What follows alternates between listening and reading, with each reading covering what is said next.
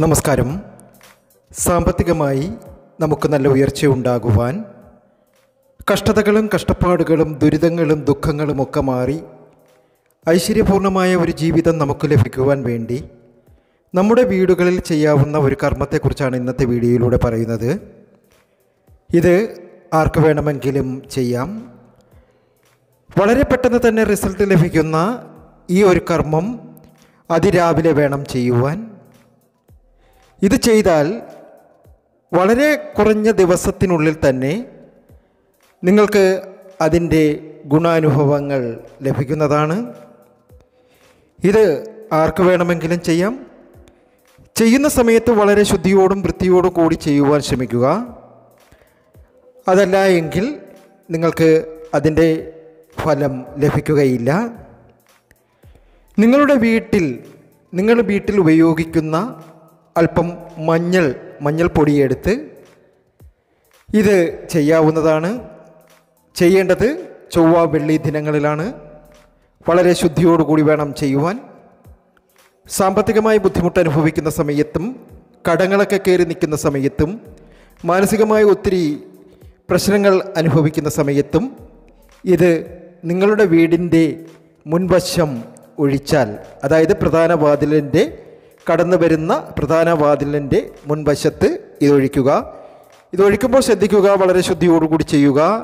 അതും തറയിൽ വേണം സിമന്റ് തറയിൽ ഒരിക്കലും ഇതൊഴിക്കരുത്.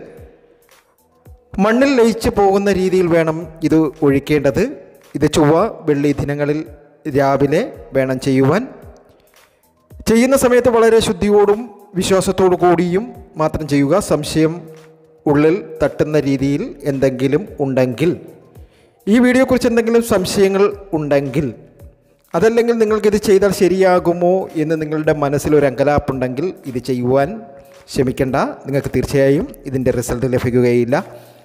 വളരെ വിശ്വാസത്തോടു കൂടി ആരോടും പറയാതെ നിങ്ങളുടെ വീടിന്റെ മുൻവശത്ത് ഇതൊഴിക്കുക. ഇത് ചെയ്യേണ്ടത് ഇങ്ങനെയാണ്. അതിരാവിലെ ഒരു കുഞ്ഞു ഗ്ലാസ്സിൽ അല്പം മഞ്ഞപ്പൊടി ഇടുക.